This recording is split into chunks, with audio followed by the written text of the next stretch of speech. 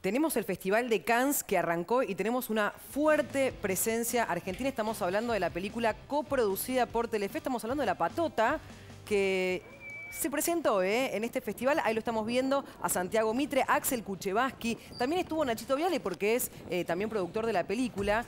Y les contamos a todos que se estuvo exhibiendo con mucho éxito. ¿eh? Realmente la aplaudieron mucho en el momento de los créditos, con una cálida recepción. Han repetido tres veces los aplausos, hay que decirlo. Y vamos a recordar, Rod y Chris, que esta película es esta remake que ha hecho Tiner, justamente del clásico de 1960, que estuvo protagonizando Mirta Legrand. Les contamos que se va a estar, eh, se va a estar repitiendo el fin de semana también, ¿eh? así que tenemos la palabra del director Santiago Mitre y también de la protagonista Dolores Fonsi. Estrenar La Patota en Cannes en la Semana de la Crítica, eh, orgullo y ansiedad, y porque es uno de los eventos cinematográficos más grandes del mundo, digamos, ¿no?